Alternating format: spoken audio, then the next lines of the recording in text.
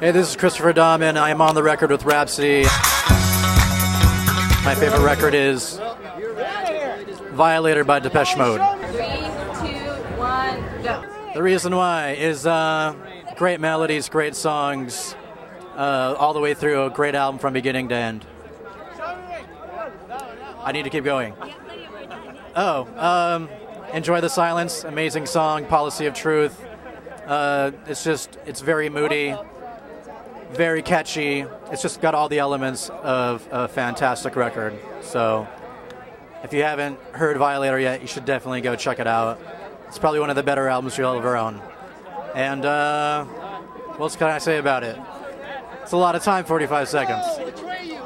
Um, that's pretty much it. Go get Violator by Depeche Mode. It's a great album. Cool.